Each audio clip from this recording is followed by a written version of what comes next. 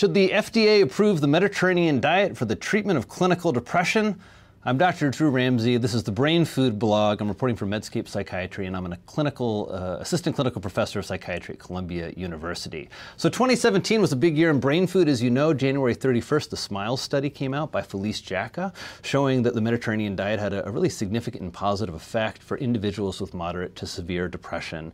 And the year rounded out with Natalie Parletta and her group at the Center for Population Research in South Australia, pum- publishing a similar study with striking findings. Dr. Parletta and her group followed 152 individuals and they randomized them to a control group, which was a very good active support group, and then a group that got the Mediterranean diet. And this is how they changed their food. As the authors note, we live in a quote unquote obesogenic environment, and so changing eating behaviors is very challenging. The researchers had an intervention for 152 individuals. The intervention was uh, every two weeks, individuals would get a food hamper containing some essential ingredients from a recipe that they were going to learn, along with things like uh, uh, some uh, canned fish like tuna or salmon, or, or uh, certainly some olive oil, along with some whole grains and legumes, the basic staples of the Mediterranean diet. And along with the food hamper, they'd have a cooking class. Now, boy, talk about that would certainly make me feel better in a depression every couple of weeks to get free food and a really nice Mediterranean diet style cooking class.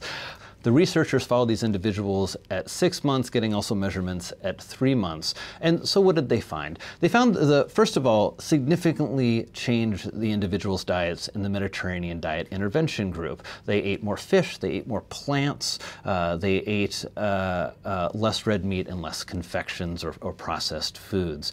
They found that individuals in the Mediterranean diet had a significant reduction in their depression scores, about a 45% improvement in their rating scales, compared with about a 27% improvement in the control group. The, the uh, researchers also gave everybody in the intervention group a fish oil pill or omega 3 supplement. They got about 900 milligrams of DHA and 200 milligrams of EPA.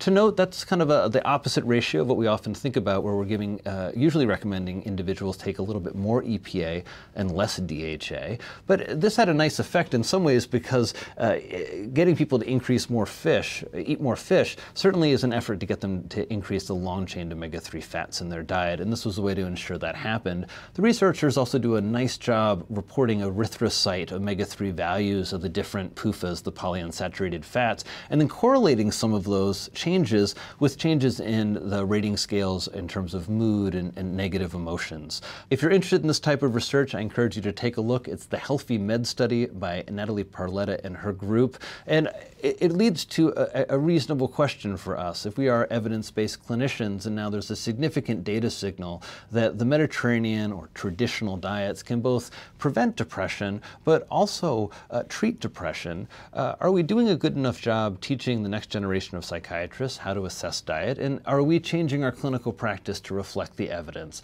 I'll look to your comments below to let me know how a study like this influences how you practice. I'm Dr. Drew Ramsey for Medscape Psychiatry.